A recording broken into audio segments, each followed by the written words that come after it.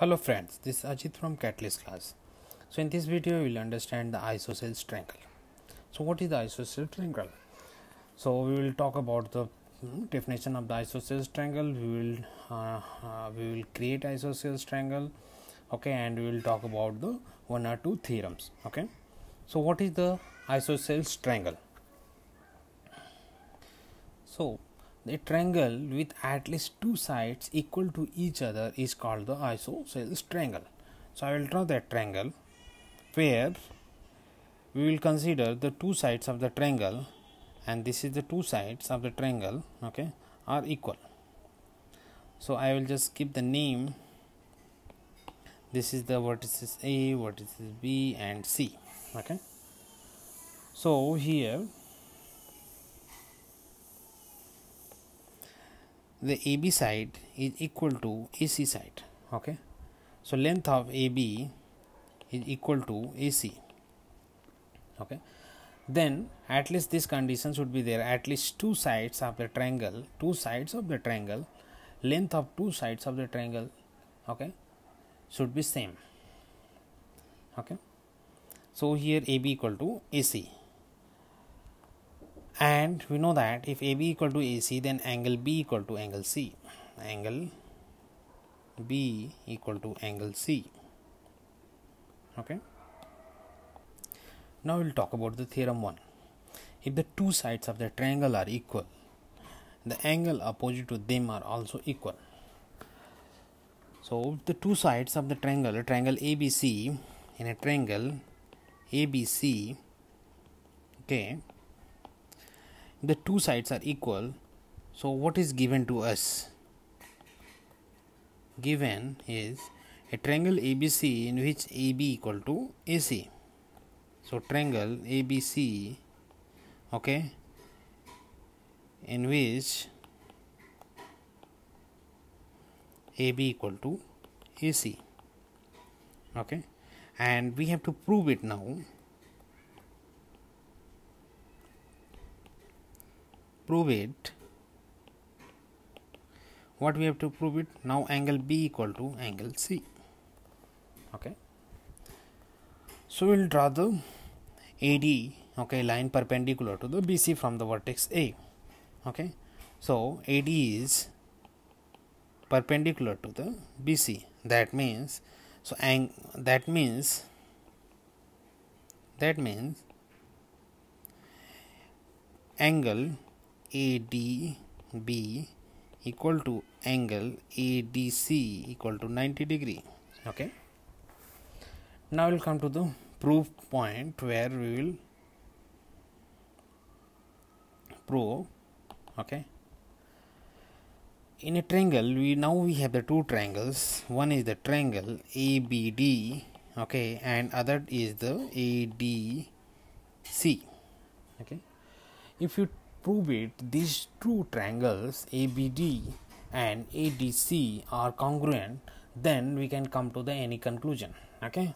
So congruent means the two triangles are same we can place one triangle to other triangle. So that means we can prove it okay angle B equal to angle C. So now what we need to do? We know that length AB okay equal to length AC AD length is common. AD length is common. AD is common in both the triangle. Okay, and we know that we have drawn AD perpendicular to the BC line. Okay, so angle ADB and angle ADC are 90 degree so we can say it angle ADB equal to angle ADC okay both are 90 degree. So we can say that because AD is perpendicular to the BC okay. Now we can see that the conclusion is now we can say the triangle triangle triangle ABD congruent with triangle ADC. Okay, this is the RHS property. Okay. So corresponding part of the congruent triangle are congruent. Corresponding parts of congruent triangle are congruent okay? So we can say that angle b equal to angle c. So this is the proof. Now this is the proved okay?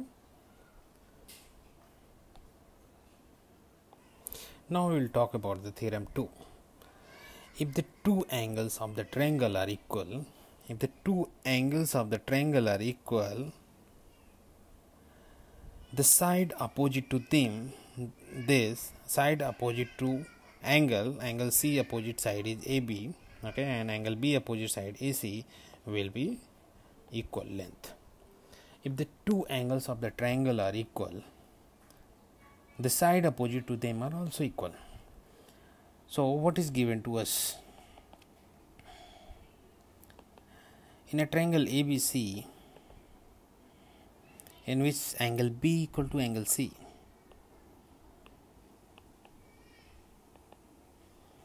Angle b equal to angle c okay? And what we have to prove it?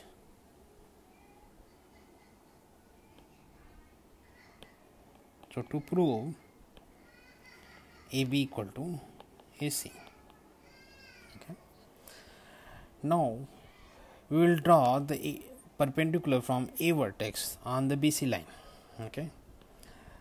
So we will draw the perpendicular on from the A vertex okay to the BC line okay? And this point will become the D fine? So AD is perpendicular to the BC that means angle ADB equal to angle ADC will be 90 degree yeah? So now we will write the statement for proof okay? Proof okay?